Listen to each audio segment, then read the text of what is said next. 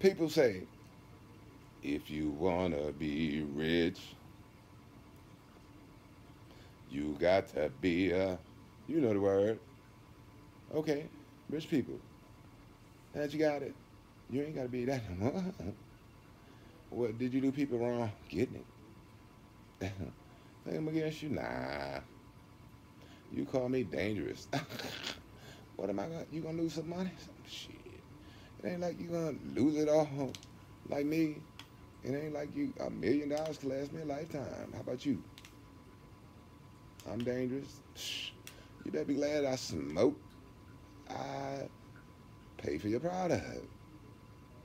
And I heard you put chemicals and stuff when your product um, purchases go down because you want to compensate for what you're losing when people stop using the product.